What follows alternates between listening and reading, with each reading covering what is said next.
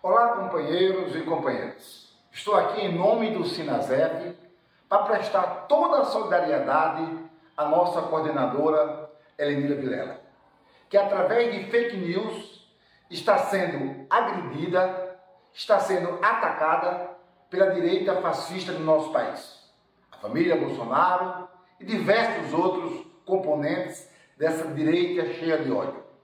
O que foi que ela fez? Companheira Lindira fez uma análise da importância da figura de Michele Bolsonaro para a direita fascista desse país e colocou a sua posição de que nós devemos lutar para derrotar esses quadros da direita fascista.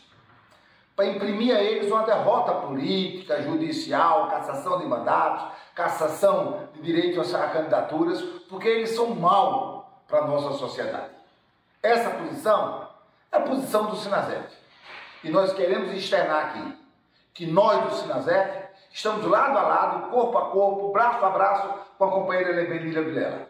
Não vamos admitir que a direita use de fake news para agredi-la, para difamá-la. Somos todos Helenira, juntos na luta contra o fascismo, juntos na luta contra a direita.